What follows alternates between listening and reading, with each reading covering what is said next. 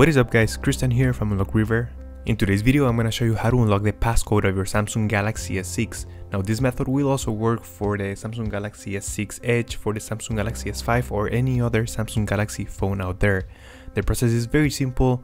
Uh, if in case you forgot the passcode or the pattern or if you don't know the pin to unlock your phone, this is going to be a solution. Now there are good things and bad things about this method. Uh, the good thing is that you will be able to use your phone back fully, so uh, you don't have to worry about that. The only downside is that all the information of your phone will be deleted, unless you have a backup somewhere in your computer. Alright, so let's begin. First we're to start by powering off the phone, so press and hold the power off button, and when your phone is completely off, you're to have to press and hold three different buttons. We're to start by pressing the volume up key, the power off key, and the home button key. So just press and hold it for 10 to 15 seconds until you see the Android logo. So we're just gonna go ahead and press it and keep holding it until you see the Android logo. You're gonna see right now. Perfect, now you can let go of the buttons and uh, we're gonna wait until we are directed to the um, menu of the phone. So you have to wait around 30 seconds until you get the following menu.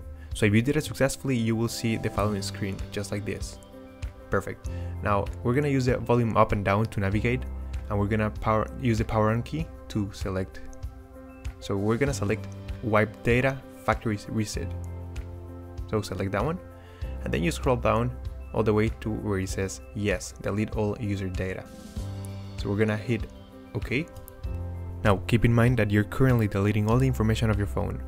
So once you're done, you're gonna go back to the home menu again and we're gonna go ahead and select the following option.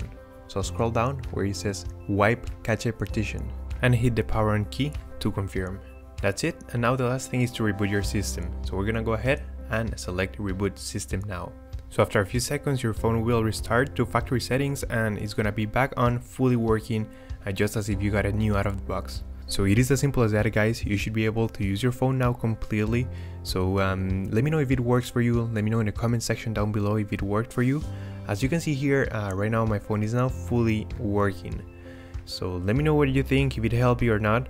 And thank you for watching my videos. We upload videos every week, so make sure you subscribe to our channel. Thank you for watching. See you next time. Peace.